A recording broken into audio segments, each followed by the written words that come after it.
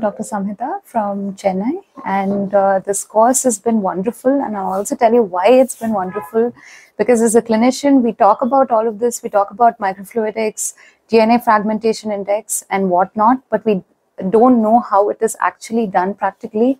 We don't know what culture media we use. We don't know anything. And sir really handheld us throughout all of this and I've just had such a wonderful experience and now I can tell you that okay and this is how the DNA fragmentation is done and these are the steps and I don't think we'd get um, anybody who would just like handhold us and teach you every step so patiently so that's why this course is just brilliant and I would recommend it to everybody.